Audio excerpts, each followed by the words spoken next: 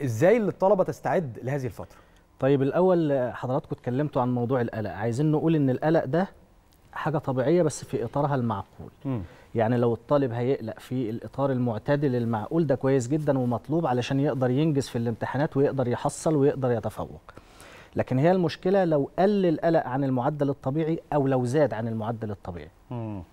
لو قل طبعا الطالب ما بيبقاش عنده حماس ولا دافعية إن هو يذاكر ولا ولا يجتهد ولا أي حاجة خالص يعني بيهمل المذاكرة. وزي ما حضرتك قلت كده ممكن يأجل بقى ما يذاكرش إلا أيام الامتحانات أو قبل الامتحانات بفترة بسيطة. ولو زاد القلق عن الحد ال- المعتدل بيخلي الطالب مش قادر يركز. ممكن يقعد على الكتاب 24 ساعة لكن ما يطلعش منه بأي معلومة لأنه مش قادر يركز في المحتوى اللي هو بيذاكره. فإحنا عايزين الأسرة والطالب يحافظوا على قدر معتدل من القلق. بحيث إن القدر المعتدل ده يخلي الطالب متحفز دائما ويقدر إن هو يبدأ آه، يذاكر. آه، آه، اللي إحنا بنسميها بقى بمصطلح تاني عايزين الطالب يبقى عنده ثبات انفعالي. يبقى. قلقان قلق بسيط كده اللي هو يخليه يشتغل ويذاكر لكن ما يبقاش اوفر في في القلق وفي التوتر ويبقى يسيطر على هدوءه وعلى تركيزه يعني. دلوقتي إحنا خلاص في العد التنازلي للامتحانات الثانوية العامة ودلوقتي شغال امتحانات ال- المرحلة الإعدادية. فخلاص إحنا دلوقتي في مرحلة بقى إن إحنا لازم نتخذ قرارات هتبقى صعبة شوية. ما بقاش ينفع دلوقتي إن الطالب يقول أنا هذاكر في اليوم أربع أربع ساعات أو ست ساعات أو سبع ساعات أو حتى ثمان ساعات. تحديد فترة المذاكرة بساعات ما عادش ينفع دلوقتي. إنما دلوقتي لازم موضوعات. أنا مم. بقسم الفترة ال- اللي باقية دي على الموضوعات اللي جدول عندي المذاكرة زي ما بنعمل. والكتب اللي أنا هذاكرها. آه.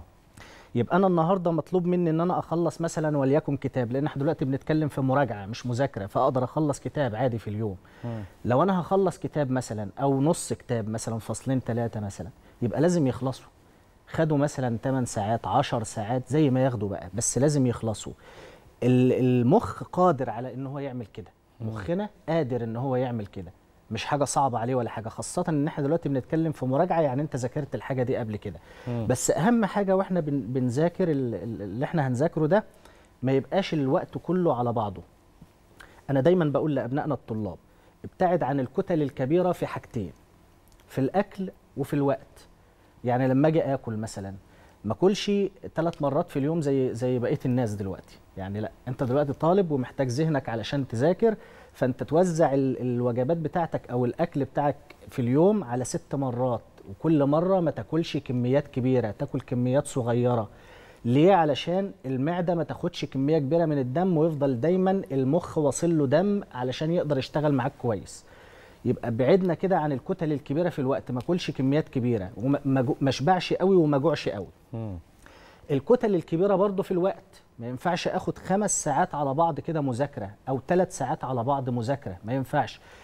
آه، آه، أنا هحصل لكن تحصيلي ده اللي أنا ذاكرته في ثلاث ساعات متصلة لو أنا قسمت الثلاث ساعات دول أو فصلت الثلاث ساعات دول لا هيبقى التأثير مضاعف وهيبقى التركيز مضاعف. فأنا ممكن أذاكر 50 دقيقة وأفصل ب 10 دقائق أعمل بيهم اي أعمل في ال 10 دقائق دول أي نشاط تاني ولازم يكون نشاط تاني. يعني في برضه بعض الطلاب بياخدوا مننا النصيحة بس مش بيطبقوها كويس. فيروح قاعد على المكتب يذاكر 50 دقيقة وبعدين يقعد كده 10 دقائق ساكت يعني ما بيذاكرش بس بيفكر في اللي ذاكره. إحنا كده ما عملناش حاجة.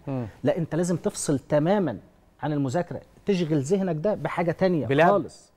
بإيه بلعب مثلا ممكن يلعب رياضة ينفع؟ ممكن يلعب بعض التمرينات الرياضية الخفيفة هيستفيد منها في إن هي هتنشط برضه الدورة لا الدموية أقصد مثلا ممكن يمسك الموبايل مثلا شوية ال social media يلعب شوية games. حضرتك ال social media دي آه هو هو لو منعناه عنها بشكل كامل هتعمل له تشتت وهيبقى دايما مشغول بيها وهو بيذاكر فما آه. فيش مانع برضه في, في الفترات الراحة دي إن هو ممكن يتصفح ال social media بس ما يكترش من الموضوع ده قوي لأن هي أصلا بترهق ال- الجسم والعين والذهن يعني مم. فحاجة بسيطة لكن أهم حاجة بنركز عليها في فترات الراحة إنه يعمل نشاط تاني ان هو يعمل آه، تمرينات رياضية يتكلم مع الأسرة في موضوعات أخرى مختلفة خالص عن المذاكرة ما يفكرش اطلاقا في اللي ذاكره فايدة الفصل ده إيه بقى إحنا إحنا بنتخيل إن الذهن كده فصل عن المادة. لا هو ما فصلش.